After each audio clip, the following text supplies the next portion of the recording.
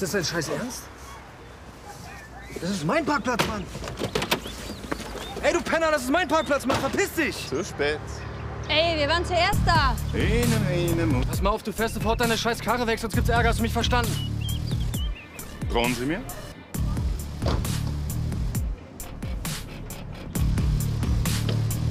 Lässt du dir das etwa gefallen?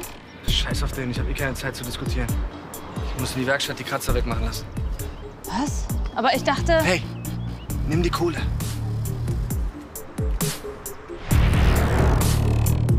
Ich nehme die Apfeltorte. Alles klar, gerne. Und? Keine Ahnung. Was denkst du? Ja, es wäre schon nicht schlecht. Was habe ich von den Aktien, wenn ich weiter an der Stange tanzen muss? An der Stange? Du strippst? Nur tanzen. Eigentlich wollte ich mal Tänzerin werden. Aber für eine richtige Ausbildung gab es kein Geld. Das Geld hat sowieso nie für irgendwas gereicht. Deshalb wäre Kohle echt mal super. Und was machst du dann damit? Am liebsten würde ich heiraten und Kinder kriegen. Ich wünsche mir schon so lange ein Baby.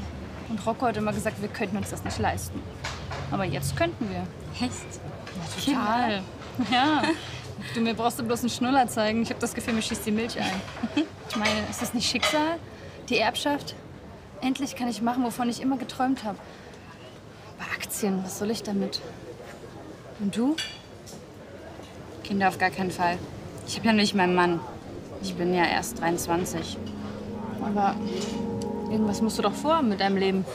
Ich meine, irgendwelche Träume hat doch jeder. Ich wollte mal Kickbox-Weltmeisterin werden.